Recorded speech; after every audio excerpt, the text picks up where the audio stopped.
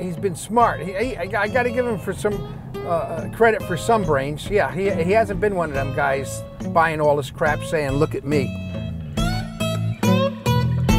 Hey, I want to go, I want a fast sports car. What about an Audi R8? I don't like Audis. Why? Well, they weren't very good many years ago. Years ago. They uh, are now. Every time you saw one, it was smoking. Uh, I think they're like 153,000 or so. Yeah. What do you think? I think you could buy a house instead. Yeah, but what's that gonna do? You can't drive a house.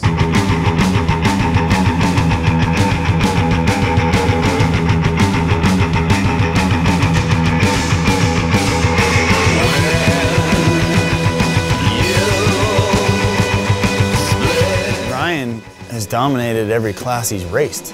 So like I didn't expect to see anything less at Motocross des Nations in 07 or any year he rides it for that matter.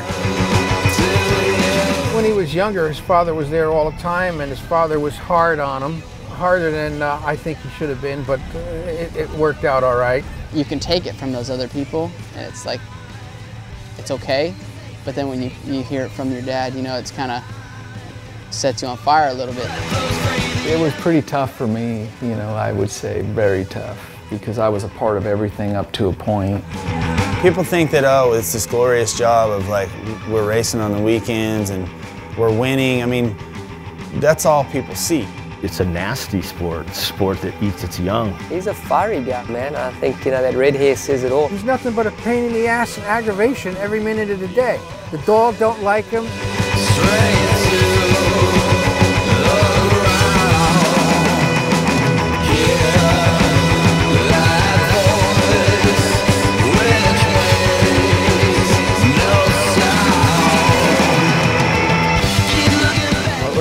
Ryan do if he wasn't a motocross racer? That's a tough question. Pushing a button and say supersize? He bought me these shoes I'm wearing. You know what upsets me is the bad accident he had breaking his leg. Didn't have a gosh damn thing to do with what he did. You know, was that bare spot on that concrete. He lost his launch and he knew it. The industry talk was he was done. It was career ending. Nothing was going to work. To come back from what he went through the season before and those kind of injuries, you know, a lot of guys would have quit. Having a 2011 like that, I mean, how can a guy go into 2012 and not think he's going to win? There's a lot of competition, but he destroyed everybody.